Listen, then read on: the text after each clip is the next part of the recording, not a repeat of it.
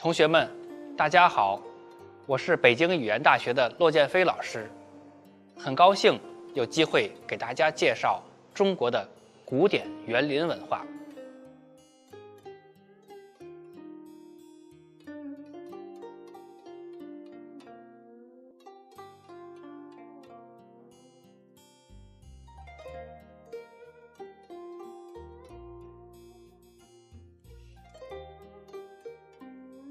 中国的古典园林是中国建筑艺术中非常重要的一部分，现在也保存了很多。一般来说，可以分为江南的私家园林和北方的皇家园林两种。你们认识这张照片是什么地方吗？这是苏州。我们在课文里学过“上有天堂，下有苏杭”。这里就是中国最漂亮的地方之一，苏州。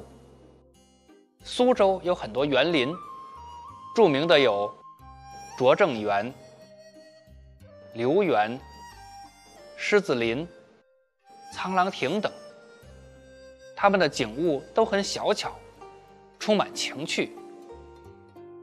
苏州有多少个园林呢？苏州明代有园。二百七十一个，清代有园一百三十个。现在苏州保存的比较完整的古代园林有七十多个。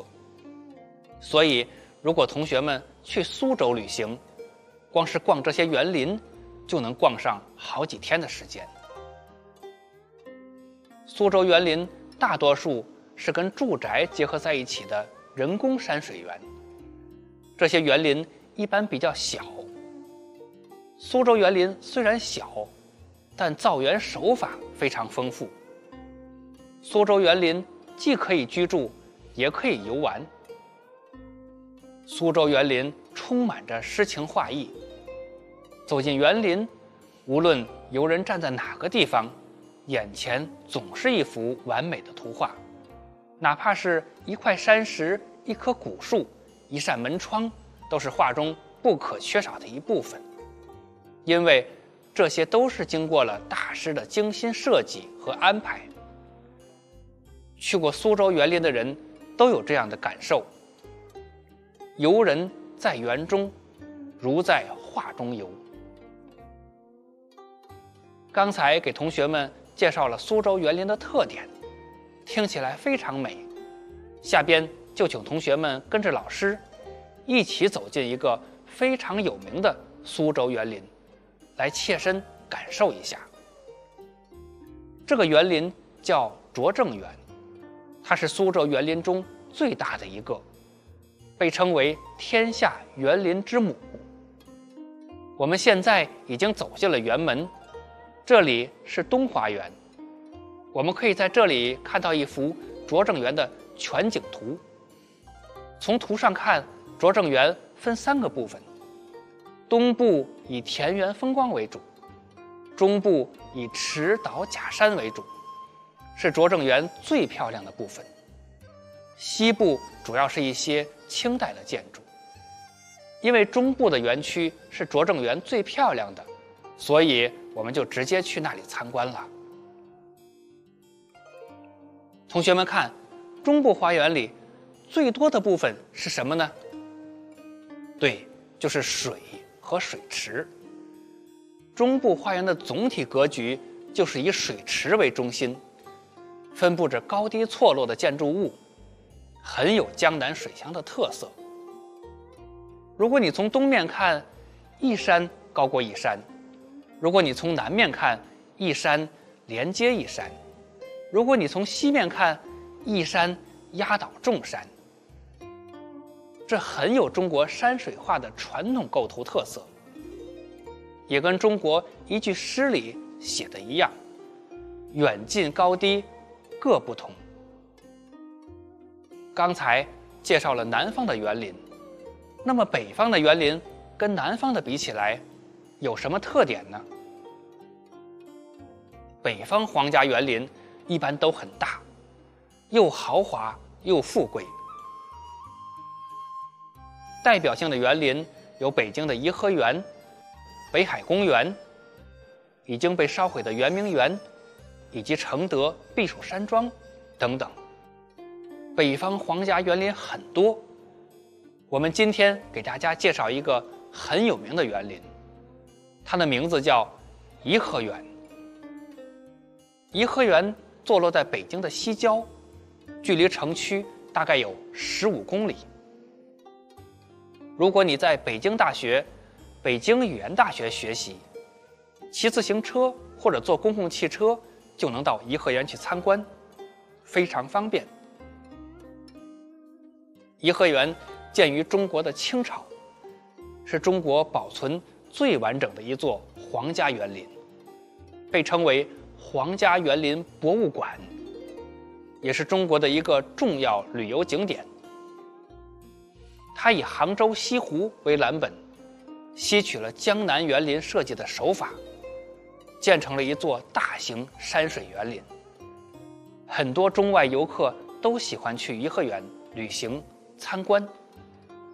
下边就请同学们跟着老师一起走进颐和园，来欣赏这里美丽的景色。我们先走进颐和园的东宫门。东宫门是颐和园的正门，门口有两只造型生动的狮子。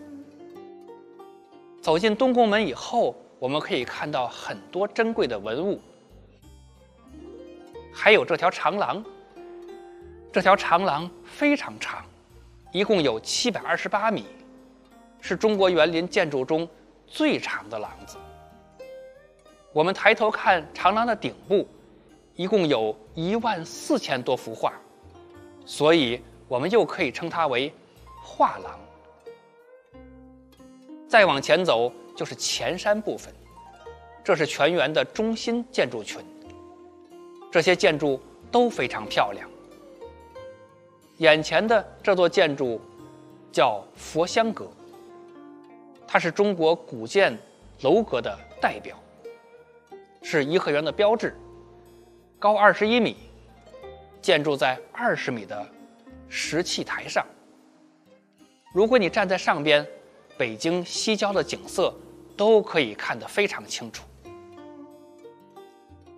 后山部分的景色跟前山不一样，前山豪华，后山安静。后山山路盘旋曲折，山下有很清澈的流水。山上有非常茂盛的树木，跟江南的感觉差不多。你们看这座桥，它的样子很特别。桥下有十七个卷洞，所以我们叫它十七孔桥。桥柱上有五百四十四只狮子，每个狮子的表情都不一样。这座桥有一百五十米长。在周末和放假的时候，很多游客会到桥上参观。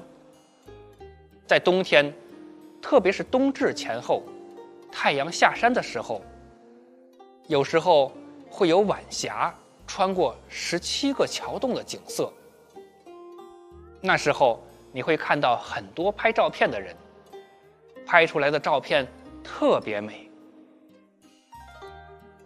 今天我们给大家介绍了中国南方和北方的古典园林，它们各有不同的特色，也有互相学习的地方。如果同学们对这些园林感兴趣，不妨去参观参观，一定会给你留下深刻的印象。下面我们一起来做一个小练习：一。留园是南方还是北方的园林？A. 南方 B. 北方。正确答案 A。二，在江南的园林中，哪里的最有名？A. 杭州。B. 苏州，C. 桂林。正确答案 B。三，中国园林中最长的长廊在哪儿？A. 颐和园 B.